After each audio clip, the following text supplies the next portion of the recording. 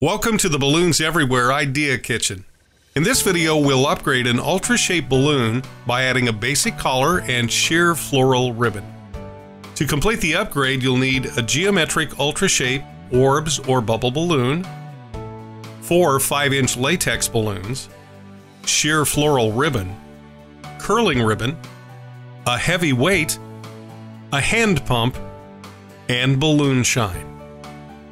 Helium inflate the primary balloon you will be upgrading. Add curling ribbon, attach a heavy weight, and set it aside. Now let's get started. To create the collar, you'll need two duplets. To create a duplet, use the hand pump to inflate two 5-inch balloons.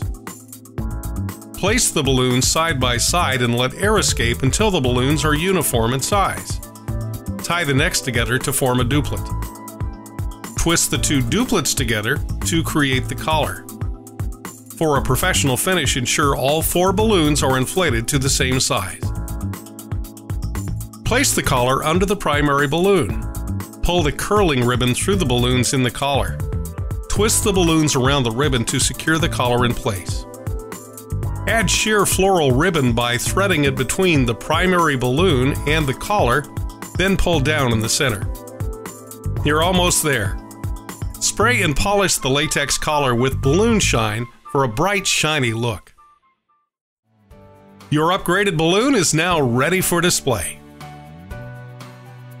Thanks for watching. Subscribe to the Balloons.com channel for future instructional videos from the Balloons Everywhere Idea Kitchen. All the materials for this upgrade are available through Balloons Everywhere. For fast shipping from the nearest distribution center, you can order online at balloons.com or call 800 239 2000.